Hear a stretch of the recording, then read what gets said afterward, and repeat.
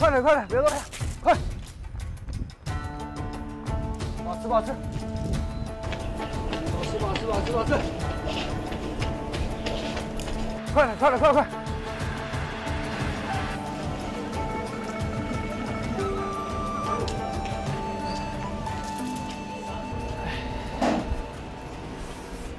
聊这个面，好吧？请坐啊。慢一点慢点，别噎到了。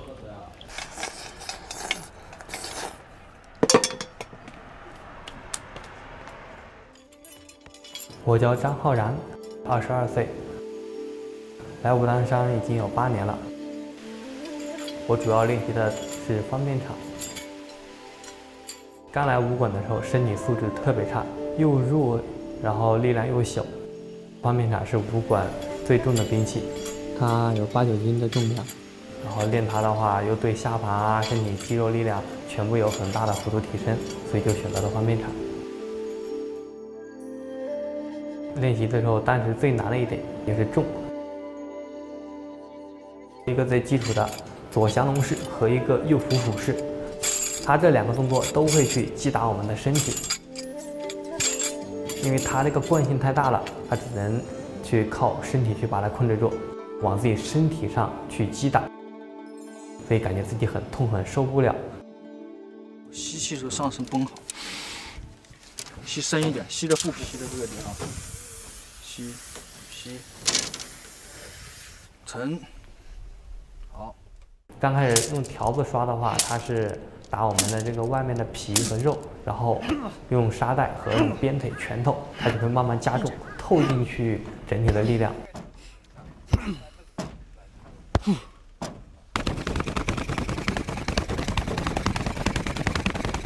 我看一下。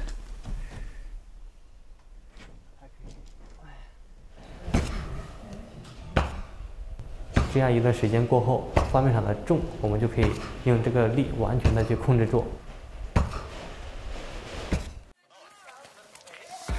因为练功每天就是套路、马步、弓步都练烦了，所以大家就一起来练下手球。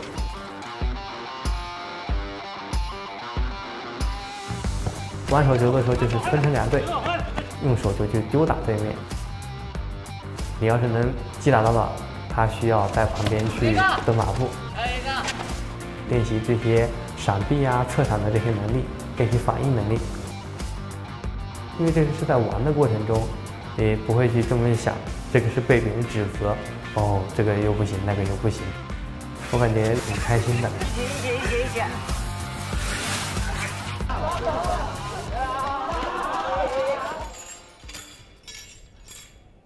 每周三上午是必须汇演的，师傅会。检查我们这个背花，再做一遍。走，这个带过来，走。好，往下沉一点，走。最后那一下蹲下去，一定要要稳。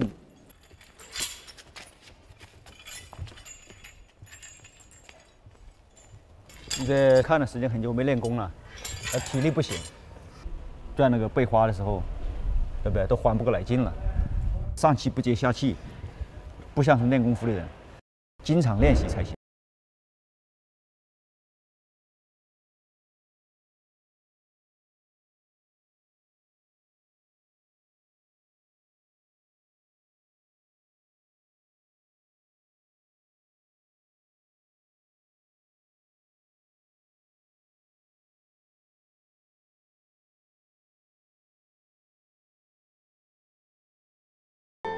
像方便场，它两头又是铁，又是带有开刃的那种点。这个时候，尤其是又在背花上，看着它那个铲头在自己的这个后脑勺上去旋转过去，尤其是还要快，就会特别的去恐惧这个动作。为了把这个动作练好，当时带我的那个师兄他就去找了一根棍子，就用这个棍子在这个背上去转。棍子转完之后，发现摸到方便场手感上慢慢好了。然后在这种基础上，不断的去加速去练习。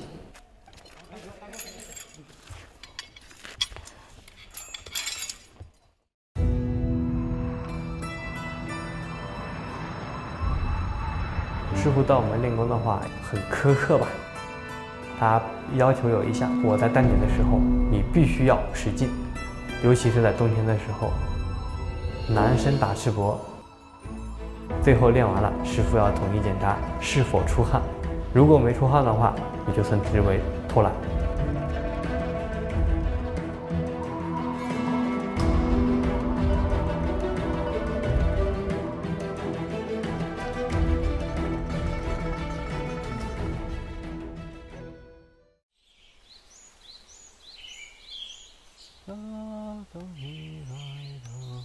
我在这边拜师之后，师傅赐的道号叫资明。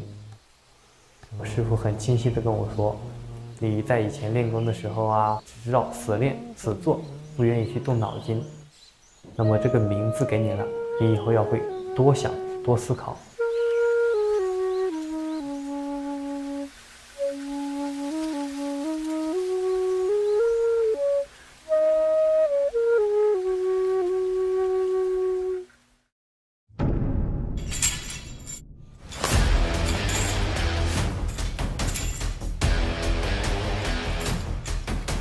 多使劲练功，在附带去思考这方面的上的问题，不再是单纯的用身体去死练，而是脑袋要跟着一起。身体再使劲，也没有说脑袋和身体结合在一起来的有用。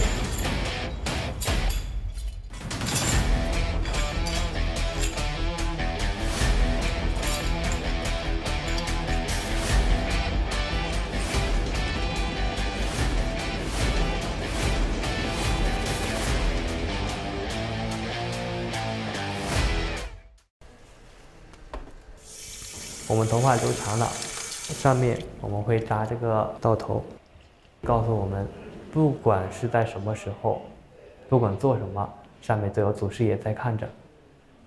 举头三尺有神明嘛。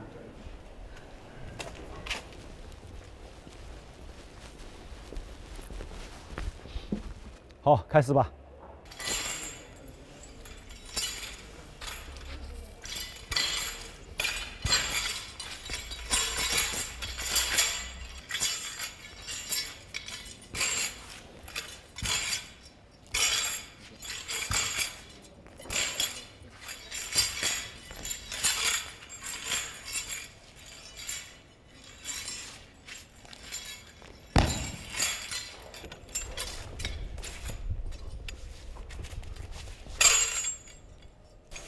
手抠住，扒住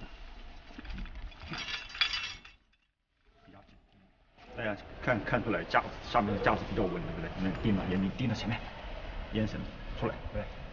好，这次练的还不错啊，方面谈整个动作还是比较紧凑。练功一定要有用心的，对不对？要好好练。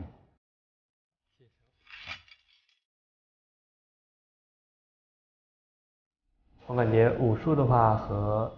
写字啊，笛箫啊，这些东西其实都相似，都是一点一滴的积累起来，一笔一画要求标标准准的，长期的不断的去练习呀，稳定，这是一个长期一个持之以恒的东西。